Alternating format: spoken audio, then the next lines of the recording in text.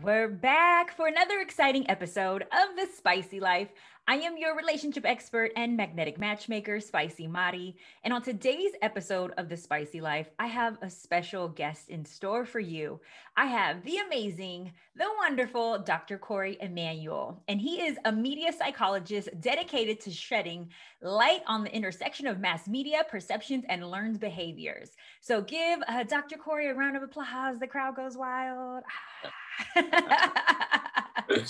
okay, can I go by Dr. Corey or do I have to say Dr. Emanuel? Which one is it? No, no, just call me Dr. Corey or okay. Corey. Either one is fine.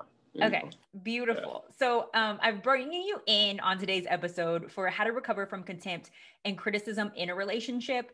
Um, partly because I saw some incredible posts that you had put um, and really loved what you were speaking to in regards to um, behavior and psychology around um, toxic relationships and some of the stuff that's portrayed in the media. And I'm like, okay, got to get you in for this convo. Um, it's going to be incredible. So I uh, really want to talk today about like toxic relationships and is there any ability or way to recover or heal while in it and staying in the relationship? Or do we always recommend going out? But before we get started in that juicy topic, um, you are going to share with me uh, our spice breaker, which is when did you first fall in love with yourself? That's the first question that I have for you. I would say around age 30. That was such a sweet spot moment in my life. I was moving to LA. I had sort of shedded all of the history and the uh, the weight of my childhood uh, back in South Carolina and all of the expectations that I felt like were uh, attached to me. Yeah. Um, and so 30 was really that moment where I felt like I stepped into myself, stepped into self love um, versus seeking so much outward, uh, you know, love from, you know, family, friends. And so, yeah, I would say age 30 was when it, it shifted for me big time. Beautiful. Yeah. I love that. Okay. So we yeah. had to start with getting you just a little vulnerable first to warm you up. But Absolutely. now we're going to deep dive into the main topic. Um, now that you've shared with us how you fell in love with yourself, now you're going to help others with love um, for their relationships. So, um, just to give everybody a little backstory on uh, the spicy dish, February 5th, 2021, this great movie, Malcolm and Marie, come out. It airs on HBO. And the film stars David Washington, uh, as we know, who is Denzel Washington's son, and Zendaya. And these are the title characters, the a writer, director, and his girlfriend. Um, we wind up seeing the relationship is tested throughout the night uh, of his film premiere. And there's been some mixed reviews around this film uh, tomato meter, if I'm saying the right tom- tomato meter, gave it 60%, but then the audience review was 71%. And this is like a controversial film that I've been talking about with friends and then um, clients as well that are actually experiencing some of the tumultuous things and toxic things that we see in this relationship. But what I want to start with you is asking is like identifying factors like what is one, a toxic relationship? And then two, how do we know if we're in it? Absolutely. So I liken a toxic relationship to a slow death on the inside. Ooh. Um, it is where, yeah, yeah, it is where you are. Your your self esteem is depleted. Um, your growth is stunted, hmm. and all of these things can be happening, and you may not even be aware of it. Like you're so deep in the trenches of it sometimes that other people may observe it, right, and, and witness it before you come into the acceptance that I'm actually in a toxic relationship. Give me yeah. um, some of the like clear telltale signs how she behaves, how he behaves. How do we know if like we're the problem or if it's our partner? Yeah, and I think you know that's one of the interesting things about toxic relationships is there really are no quote unquote gender rules to it, right? You know, sometimes you, you can yeah, sometimes you know you can have the female be be more toxic than the male you know and, and, vice versa so i think first we have to just sort of take off the notion that oh only men can be toxic and that's where toxic masculinity mm-hmm. comes from and we just we we sort of ignore that it takes two to tango and i think we saw that illustrated back and forth for two yeah. hours in malcolm and marie how really you can't say that one person was a, a victim or abuser over mm-hmm. the other because they shared that responsibility. Oh my gosh so much yeah that it felt disturbing even watching the movie. From a cinematic and artistic point of view it was beautiful.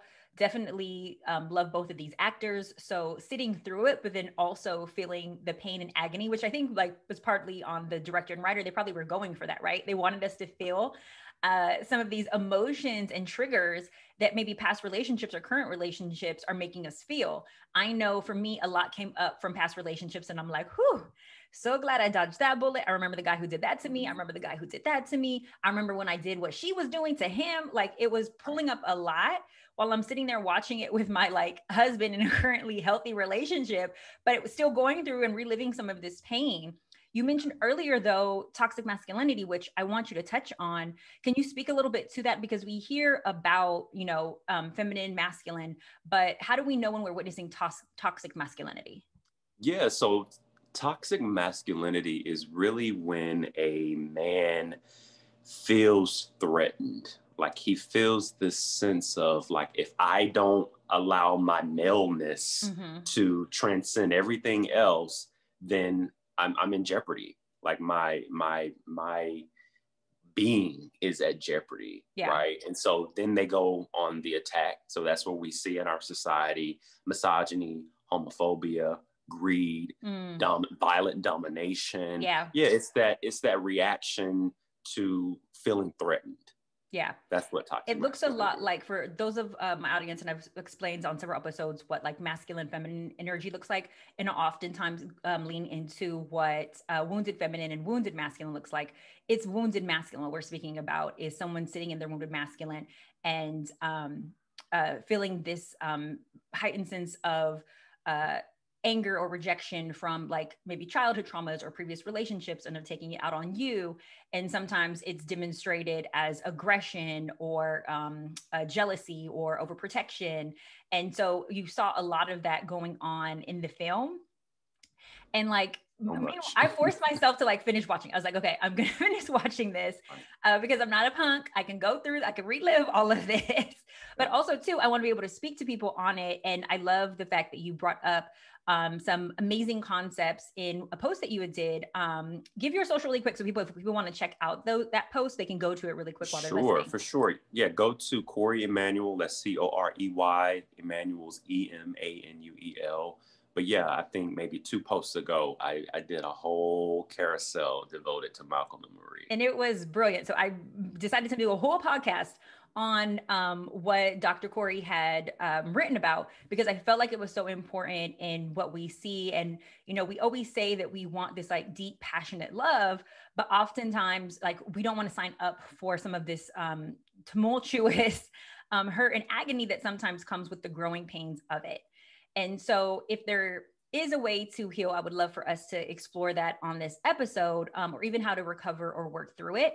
But um, first, I wanted to speak to your post about like what do these things in your last post kind of look like in a relationship so character assassination was um, one of i think like the arcs that you were showing throughout mm-hmm. the film that you had said was going on how was character assassination showing up in malcolm and marie and how does that look like you know in normal relationships as well for sure so sometimes character assassination is subtle you know, it's sort of the little teasing, joking things mm-hmm. that you mm-hmm. might, you know, call somebody like, for example, you know, if if a guy said to his girlfriend, like, okay, pig, you know, because she ate the last chicken wing. Uh-huh. Um, a lot of people may feel like, oh, that's that's harmful. There's nothing wrong with that. But if that partner already has some internalized sort of weight issues, um, some body dysmorphia issues going yeah. on, things like that will stick to them um, like glue. And so I tell mm-hmm. people it's not so much uh you know what you're saying sometimes but yeah. all, it, you have to consider how your partner is wired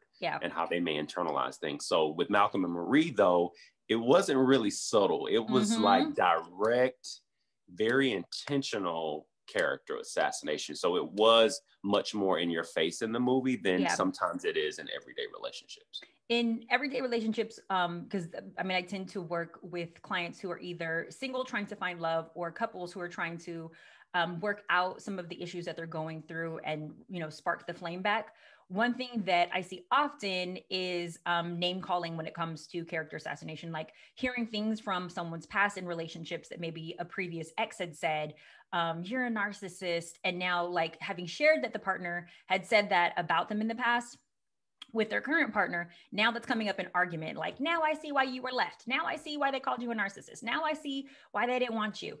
I know you're always going to be alone. Like, sometimes it, you're right. It's just as blatant like that mm-hmm. as it mm-hmm. was in Malcolm and Marie. Um, but I love the example that you gave about like the subtle ones as well. Um, right. Both are just as hurtful. But yeah. once someone does the character assassination, what's your suggestion for communicating, hey, that hurt my feelings? Yeah what are we going to do about you, it? Like, how just, do we get over it? Right. You just said it. And I think, too, it's on the responsibility, you know, of the person who's doing the char- character assassinating to think about the impact of words. Mm-hmm. How there, you know, there are probably things that were said to us when we were in elementary school that were mean and nasty yep. that we still remember to this day. And I think as we become older, that sort of sensitivity to that doesn't go away because now yeah. I'm, I'm older and now things should just roll off me. If anything, it might be more heightened now mm-hmm. because you've created this sense of trust and safety and this person you thought had your best interest at heart and now they're attacking you. So I think it's on responsibility of both people. One, the person who is tempted to do that to take a take a pause and think about how is this going to impact this relationship long term but also the responsibility of the other person to identify that that hurt their feelings and and why that hurt their feelings. And then give me an example because I, I, like to get real on here. Um, and i oftentimes use myself but i'm gonna throw you in the hot seat. Give me an example of a time you and your partner said something that was hurtful to the other and how you brought it up. How you how did you work through it when you hurt their feelings Mm, gosh, you would stump me. Put today, you on the you? spot. uh, you know, it's what I will say, just in being completely honest with you, is that one of the I struggle with confrontation mm. because I feel like I have a very sharp tongue and I'm all I am very cognizant of how I could say something yeah. that would be very cutting and probably not be able to redeem myself from it. Ooh, yeah. So I I personally can't think of an instance where I've done that where I've just completely obliterated just gutted yeah gutted someone i think because of that too i really haven't been in a lot of situation situations where that's happened to me okay because i think i'm i'm sort of i try my best at least to set the example in that yes. is that we're not going to talk to each other that way um, but I don't know. What about you? Have you had? okay, see, I was trying to put you in the hot seat, Dr. Corey. Right. Um, I love that you have worked it out and you got it going on, and you have operated um, in this mindfulness uh, state. Uh, I am guilty though of um, so I'm guilty of having hurt my partner's feelings and then also been hurt. I'll give an example of when my feelings were hurt. Um, working out in the gym with my partner, we're extremely into fitness but I struggle with like weight loss or just insecurity around having always been like the thickest girl in the room. So I think he said like something about my thighs were thicker than his and like something about the thickness of my thighs like and he was like mine's all muscle. Yours is like got a lot of meat on it. And I was like oh my God, like I had to take a beat because I really wanted to start like going in. And I'm like, okay, actually, we're going to discuss this when we leave the gym. So I had to share with him early on in like our dating experience that it's something that's a trigger for me that I'm sensitive to. And while he may not have meant to hurt my feelings, him talking about my weight um, has always been something that like I stay in the gyms because of this like insecurity and knowing that it exists. The only way for me to have conquered it is by like taking control and the execution part of like a behavioral change and like okay well if i don't like this about myself this is how i improve it. But having to um, work through that with him and say like well it may not be insecurity for you it is one for me. So can we just be mindful of like th- this joke realm like when we get in this joke realm. Right. and so this That's is something beautiful. now that he's like okay let me not talk about my wife's weight. Um, years later we're like mm-hmm. married. He's like let me not go in on that because i know that this is like a, a soft spot for her. Right right. And i think you know most anyone that's that's worked with couples is going to probably say like that's what's missing from so many relationships mm-hmm. is the two people coming to the table together and being honest about those types of things. Like yeah. we we tend to operate from the well, if I let them know that, then I'm going to be giving this piece of myself away. Yep. But now that your husband knows that about you, yep. he can show up differently. yeah, you. exactly. And, and and what oftentimes happens as a reaction is usually we do tend to, and I have in the past in previous relationships before I really like leaned into like mastery of self and the you know the relationship work that I've done. But like I remember being younger and the moment that they would throw a dagger throwing a dagger back. And that's not going to help heal the situation. It only adds to like now two people being hurt versus one and us addressing it so um, for those of you who are just tuning in, I'm gonna circle back and let you know we're talking about how to recover from like contempt and criticism in a relationship. And I have Dr. Corey with me, and he's going through some of the um, signs of you know what a toxic relationship looks like and how we get through that. The next one is um, identifying never taking ownership. So mm, I'm assuming that this point that you made is about taking accountability of the wrongs that were done. Yeah. Can you give a you little know, bit of how we identify that? For sure. So, you know, one of the big things in Malcolm and Marie was her not feeling acknowledged. Mm-hmm. Like she really, at the core of that movie, wanted to be seen. Yeah. She wanted to feel like her partner saw her as, you know, contributing to that relationship and specifically contributing to that script and the success of that script that yeah. he was being praised for. It was about her. it was about, yeah, yeah. So, but he, but then also on the flip side of that the movie was trying to get him to see that mm-hmm. and see how detrimental him invalidating her in that process was um, and so for him at the very end to finally say i love you i'm sorry thank you like those were his last lines in that movie and that's mm-hmm. that's what she was trying to get at without you know all of the the back and forth that took place right? If he could have so just said much. it out the gate. It took so much to get him there. Why did it take so much to get him there? Why does it not when we identify things like hey this is bothering me this is a problem when we do say these things why sometimes does it take so long for partners like maybe Malcolm to come to this realization that they are in the wrong? Why does it take so long to yeah. get to the accountability part? I think a lot of it sometimes is just observed behaviors. You know, I think they point out in the movie that his um, mom was a therapist and his dad was a college professor. Mm-hmm. And I've been sort of thinking in my mind what what socialization and conditioning happened for him as a mm. result of two very probably successful hard hardworking you know, always about their job and how that sort of set him up to show up um, both in his relationships and professionally. Mm. So I do think that there there's probably some learned behaviors there. Perhaps he experienced some neglect and rejection himself growing up as a yeah. result of his parents' um, profession. So there's a lot of possibilities there. Because it didn't really go so much into the story of why he's wounded. We just knew he was wounded. Exactly. Where Marie, we got a lot of insight into her trauma and the things that she experienced. Right. Not so exactly. much about Malcolm. They didn't really deep dive into why he is or embodies this um, toxic masculinity of a man, or like he's in denial. Like it didn't really go into um his character so much and how it was built where like right. with her they went into a lot more depth so we got to understand Absolutely. where she's coming from and where she's going yeah, yeah, and I mean, we we know we were able to see on a surface level that Malcolm does have a lot of insecurities, mm-hmm.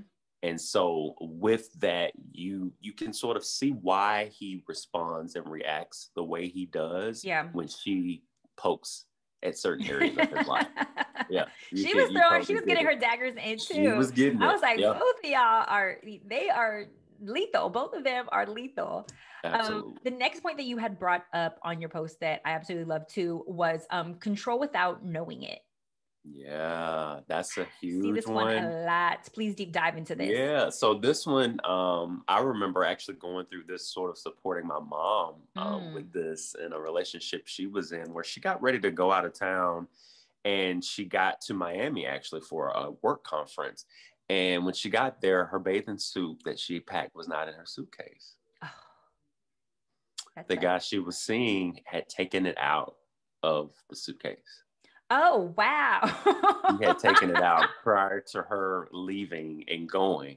And so that's just that's just one like and that is more in your face. Like clearly you're trying to control me not wearing yeah. the bathing suit. But it will often show up as, you know, telling you what to wear, mm-hmm. um, you know, sort of shutting down, you doing things without them, or asking a lot of questions about who you've been talking to and where you've been. Yeah. Yeah, it, it can kind of vary and weave in and out, but it's it's very much the person trying to basically control who you are and, who do you think in this relationship of Malcolm and Marie, we're trying to control who? Mm.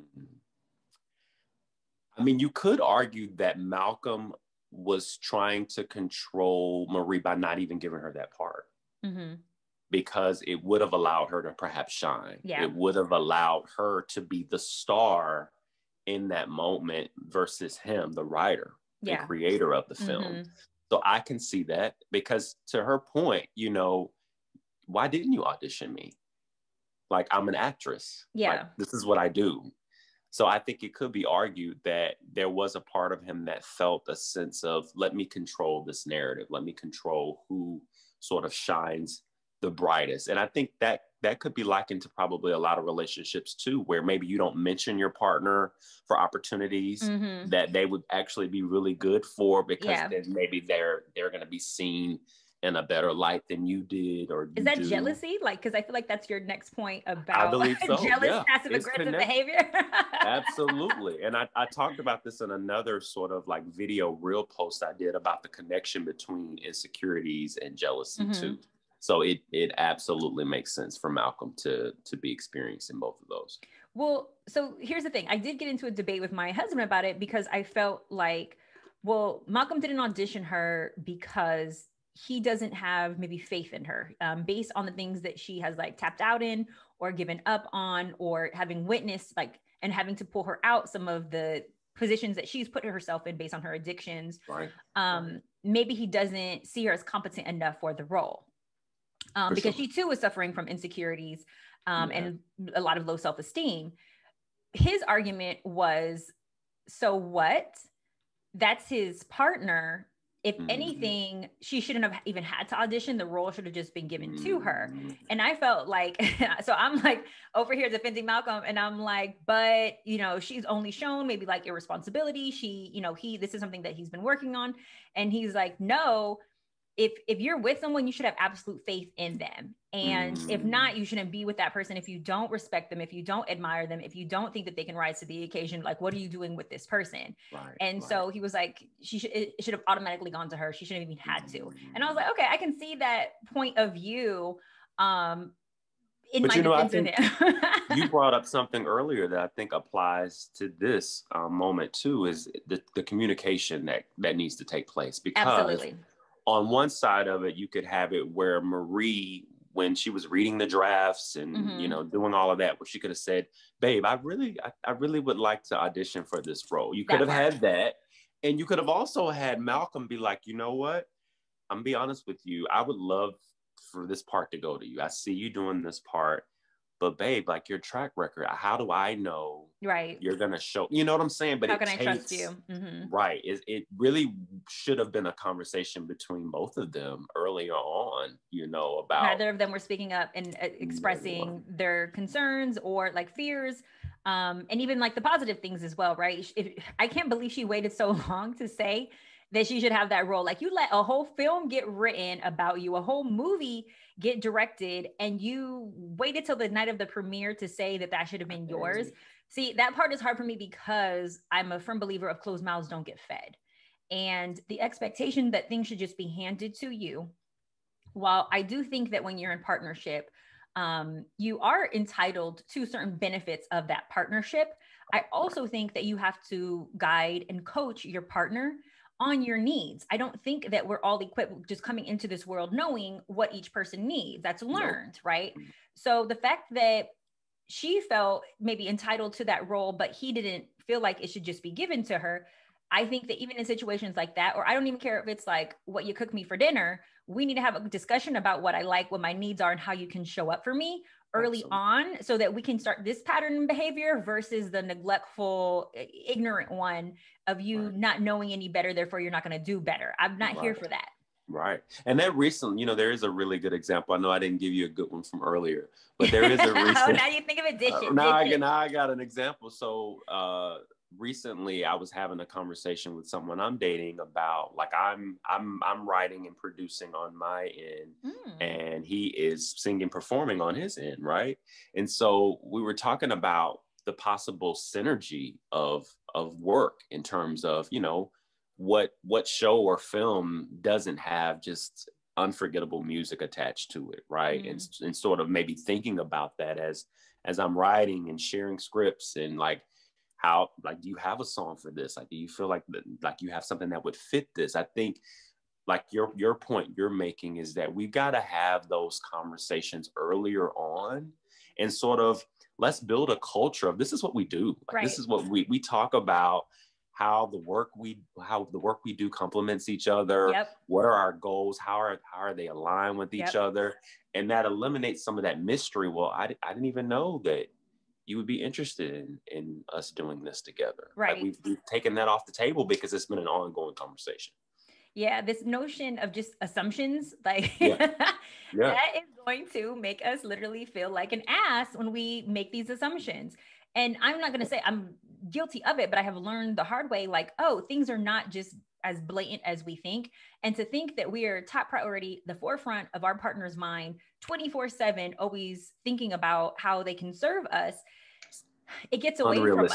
Unrealistic. like I'd love the idea of that, right. but it's unrealistic. I'm sure Corey, you're running an empire like I am. My husband's run like mm-hmm. how are we going to um, make sure that we're taking care of all of like the things that keep our business running? And then also, well, how does my partner feel about this?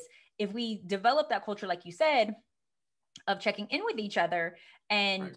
it, it, starts to become natural for us like hmm let me see if my partner can do that. So i love that suggestion. My spicy tip for you guys is to actually do that. Like check Absolutely. in with one another. Um, you know have a, a moment when you are like how did i do this week in the relationship? Like or even just scheduling appointments for like how are we showing up for one another in the relationship? How are we supporting one another? Right. um, in addition another spicy tip is talk about what your relationship goals are with each other but then also what your relationship goals are for your business for your family um, even separate like this is what i envision is that in alignment with you and what you got going on i think Absolutely. those check-ins with each other actually would be extremely helpful especially since we can sometimes time gets in the way or you know business or you know family friends there's like all these other distractions in the world it gets a little bit harder so right. let's make it easy on each other with open communication right right Okay, next one. Um, so we mentioned we glazed over the jealous passive aggressive behavior, and I liked how you gave the example of your mom's um, swimsuit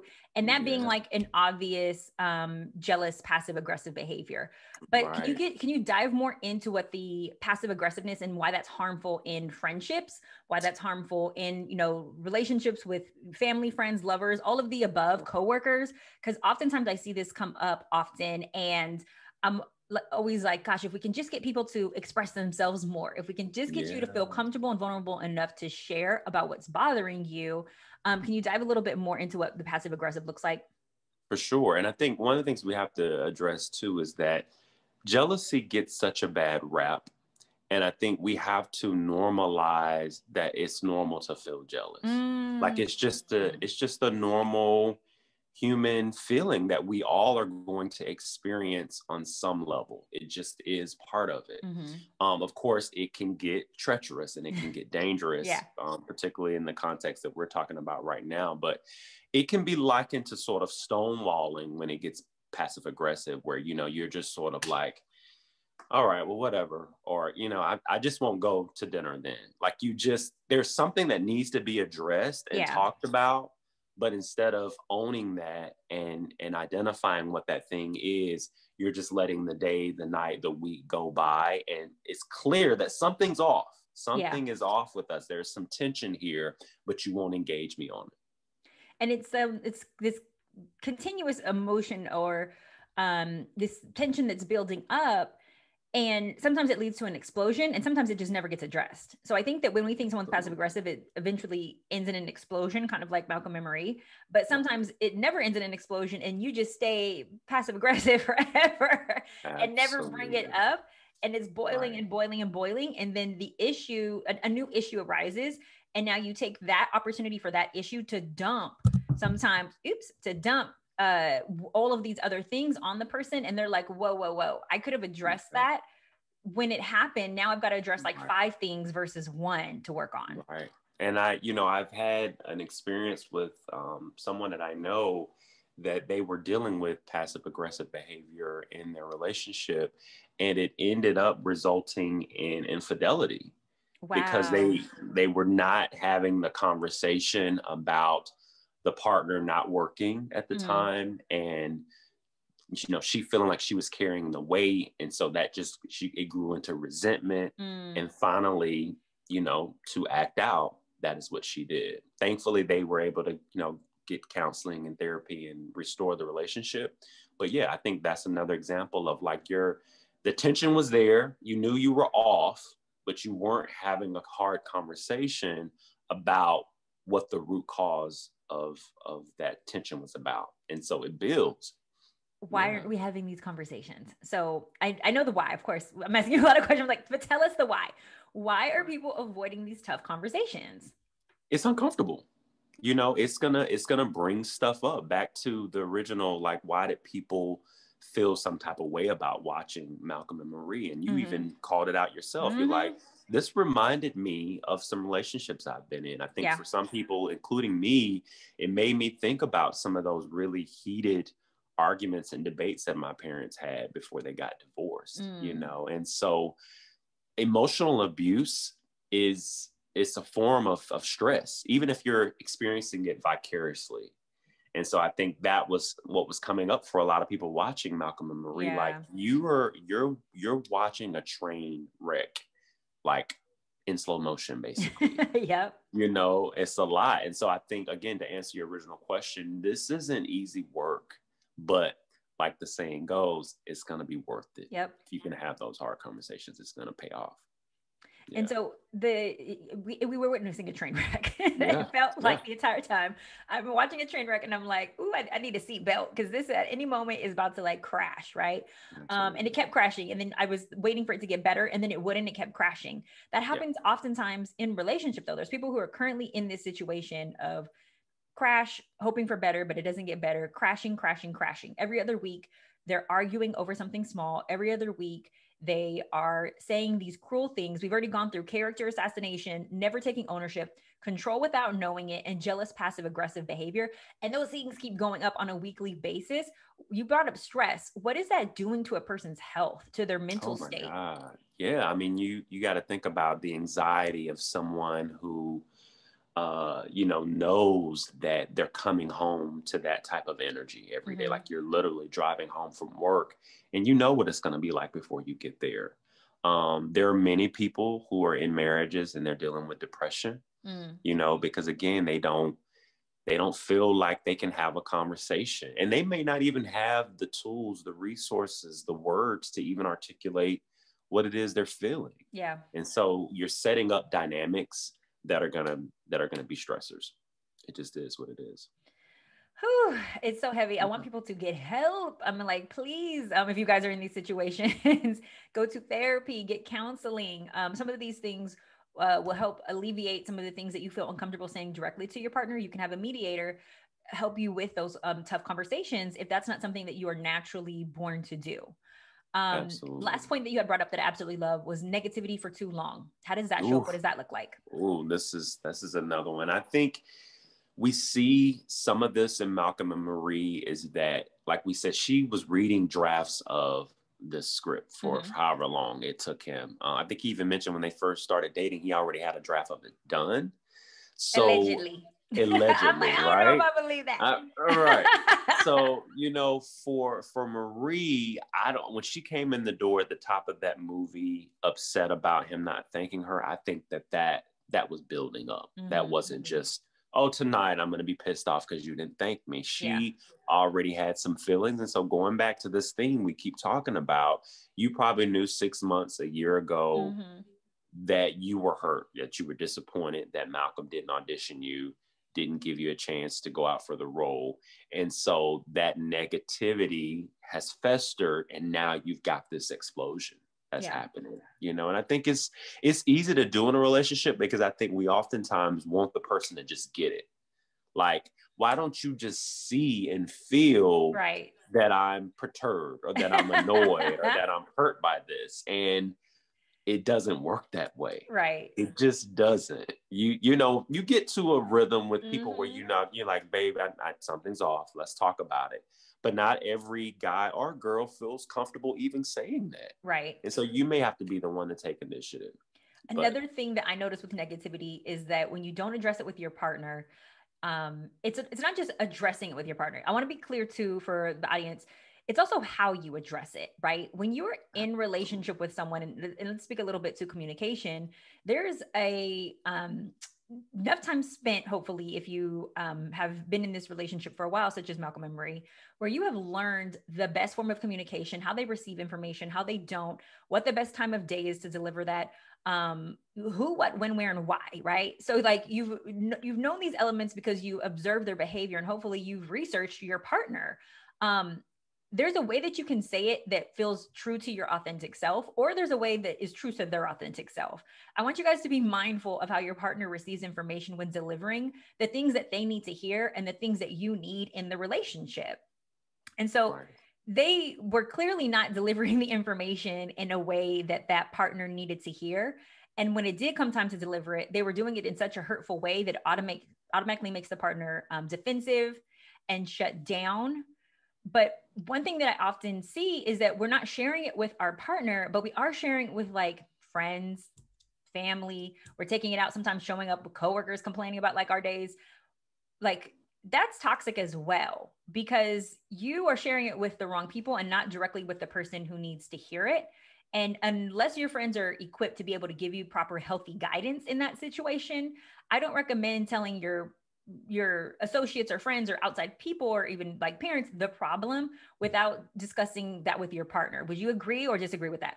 Absolutely. And I think you said it, you hit the nail on the head. It was less about what Malcolm and Marie were fighting about in this movie mm-hmm. and all about how they were fighting. Yep. And you just everything you just said, it was it was the way in which they handled each other mm-hmm. or mishandled one another that that made it be such a train wreck. I mean, just imagine like in your point about negativity, how they're showing up for each other every single day. Like they aren't even being able to like live their best lives or operate in love when they're operating from disdain, and your word contempt, and right. you know this uh, somewhat hatred that's going on behind the scenes that's creating this built up frustration and resentment over and over imagine right. how every day she's probably making his breakfast because we saw how she was making the macaroni imagine how she's making breakfast and lunch and dinner for him imagine how they're making love imagine how right. they are you know spending time with family or even like how they're operating in work when you're not at your highest self or highest vibration because your partner's energy does spill over to you i mean that becomes the word you used earlier stress and right. we all know that stress has so many additional side effects that are unhealthy and toxic just to your heart, to your blood pressure, um, to your cholesterol, everything. Stress is like one of the number one killers. Absolutely. And I think one of the things too that we have to be very careful about is there were moments in Malcolm and Marie where they were being intimate. Mm-hmm. And I think we have to be very careful about using sex to soothe in instances mm like contempt. Say that because, one again. yeah, because you know, you are it's almost like you're just muffling, you know, like you're mm-hmm. just putting you, you you're you're suppressing for that moment, but you could see that even when they would be in, intimate, the lovingness around that was fleeting. It couldn't even remain. There was no room in that house for love because the contempt and the criticism was so big. Mm.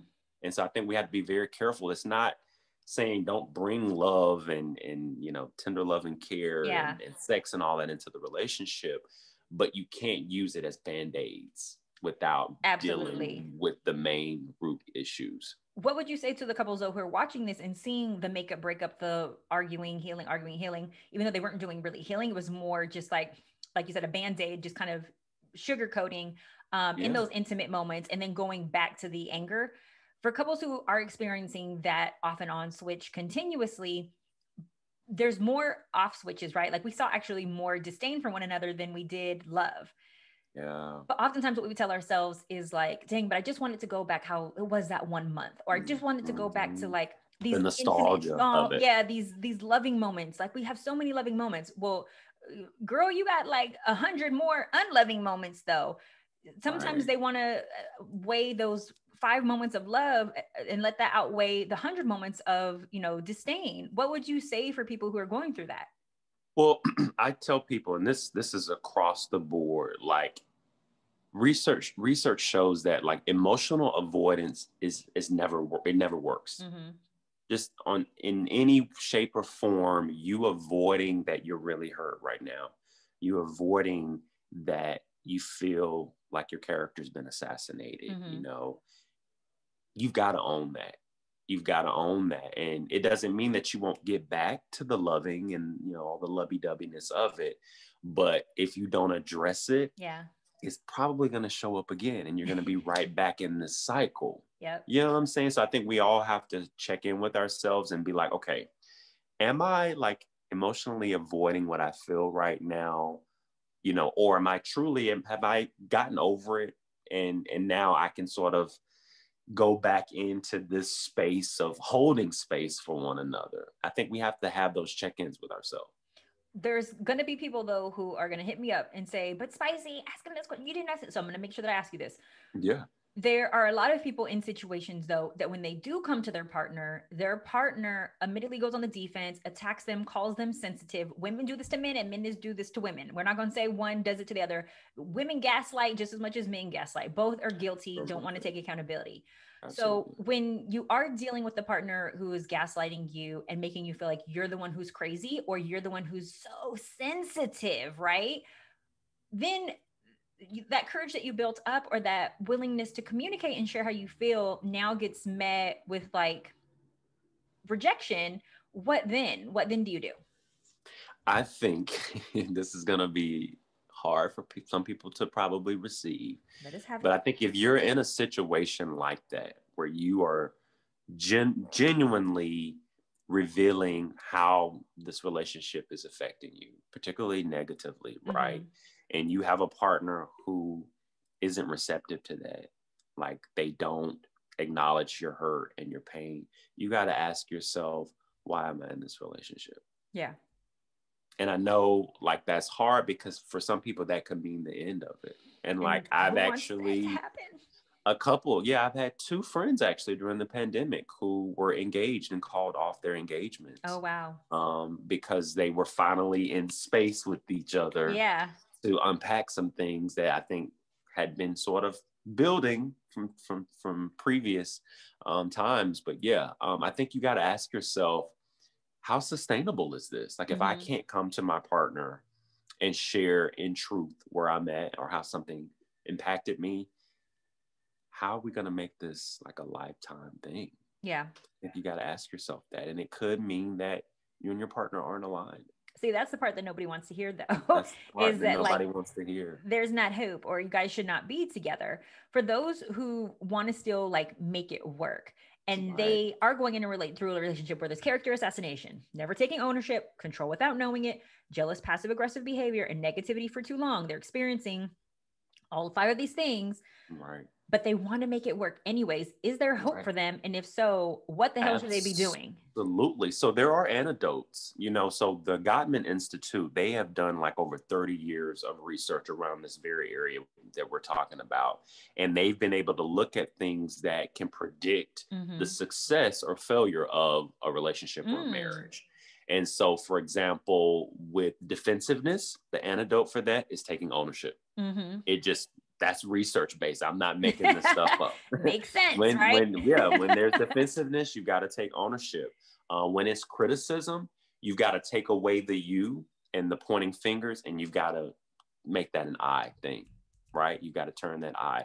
With the contempt that is um, john gottman from the Got- gottman institute he often talks about how contempt is the one area that can predict divorce if you've got Mm. contempt which is what we saw in malcolm and Oh, marie yeah you can only imagine where that relationship is going to go. Whew. Like, unless, of course, you do get in therapy and you do sit down with someone that can guide you guys through that, yeah you are you're setting yourself up for failure with contempt if you don't get in with a counselor or therapy like ASAP because there's there's some deep trauma and wounds there that the two of you together probably aren't going to be able to pull yourselves out of. Yeah. and, and not not just one person can pull the other one out. Yeah. So it's got to be something that you come together on. And in situations like Malcolm and Marie, they're just boyfriend and girlfriend. They weren't even engaged. They weren't married. So in situations like that, where you're just dating or living together for their situation, um, it looked like. Do you recommend even while you're boyfriend and girlfriend getting this help before you decide to get engaged and married? I think you have to ask yourself, what is the intention of this relationship? Great question. If if y'all are just kicking it, then save your money. don't, don't don't don't even invest that. But if if your intention is, you know what, I do want to build a life with this person, you're only investing in your future by yes, while you're dating, mm-hmm. we're not mm-hmm. even engaged yet, but our intention is to build a life together. So what are we going to do to set up ourselves for success in that? And so, absolutely, okay. get with the and people. There are counselors, therapists that will absolutely, probably would like revel in the fact that two people that were dating were coming. I get excited when couples come to me and they're like, "We're considering marriage. We don't really know, but we have these problems." And I'm like, "Yes, happy that you came before you have to go to the marriage bar." Absolutely. Like, I love the the pre- right. doing the preliminary work, right? Right. Because the truth is, what I think is the advantage of doing that when you're dating versus you're married is you may discover that you guys aren't aligned and that you shouldn't be together. Mm-hmm.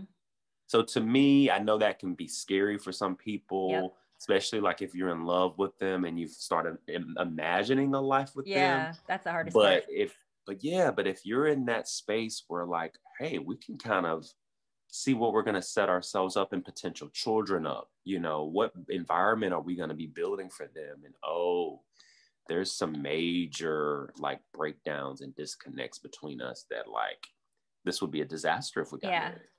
But a you lot know, of people will argue if you if you tell your friends like so me and my boyfriend are going to go to couples therapy or get counseling or relationship coaching a lot of friends and family will argue well if you already need that right now you guys shouldn't be together what do you have to say to those naysayers about getting help prior to marriage?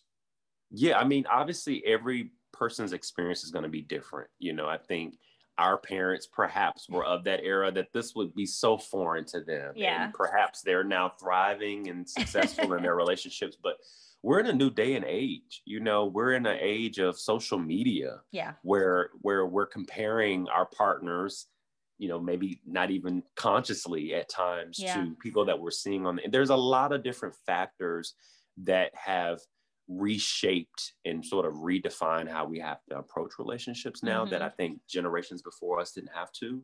And so I think every person is sort of each his own when it comes to what you need. And I think we have to treat it just like we should be treating our mental health you know there is Absolutely. no one size fits all yep like what what i need and what spicy need can can look completely different and so we can't judge people's way of being Absolutely. I love everything that you're sharing on point.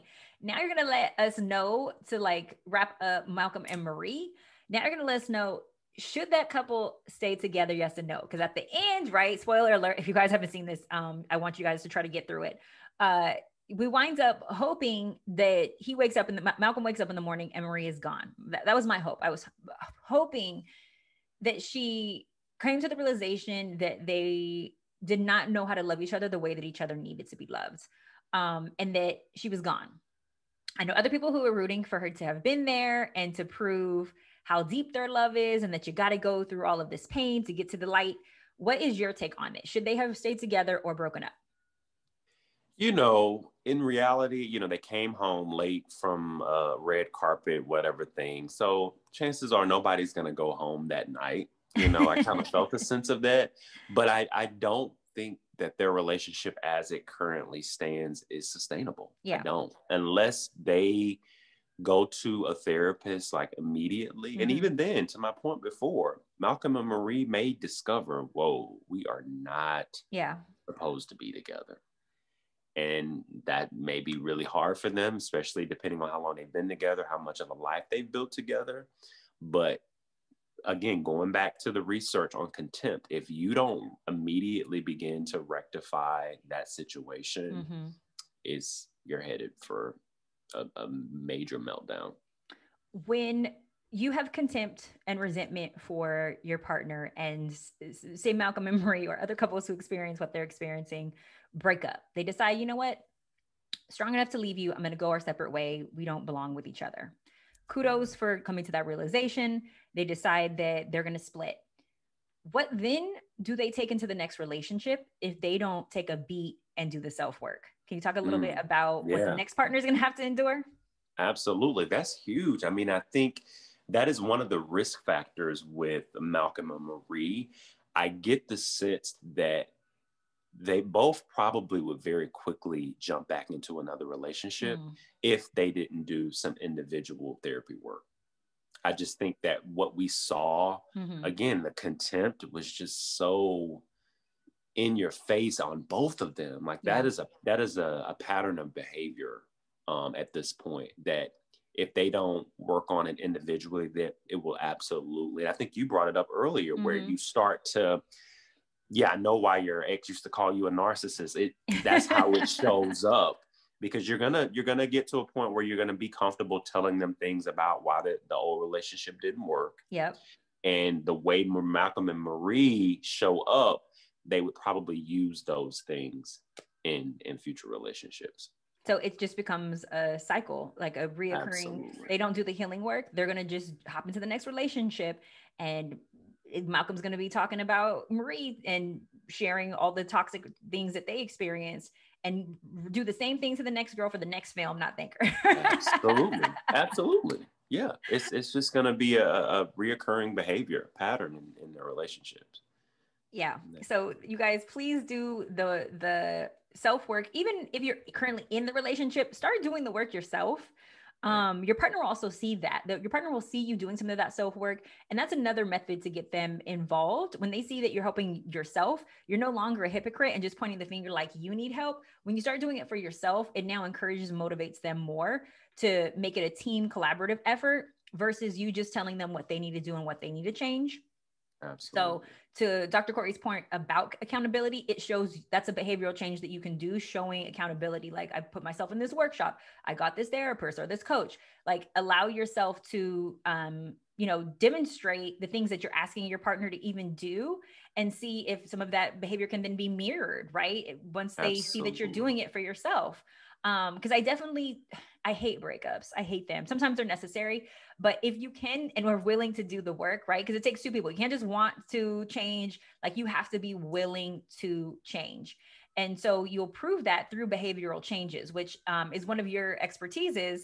Mm-hmm. So I love everything that you, you know, shared today about what you know each what Malcolm and Marie can do differently and what about what everybody else can do differently right. um, if in these situations that are toxic uh, I'm gonna wrap up with the naked truth.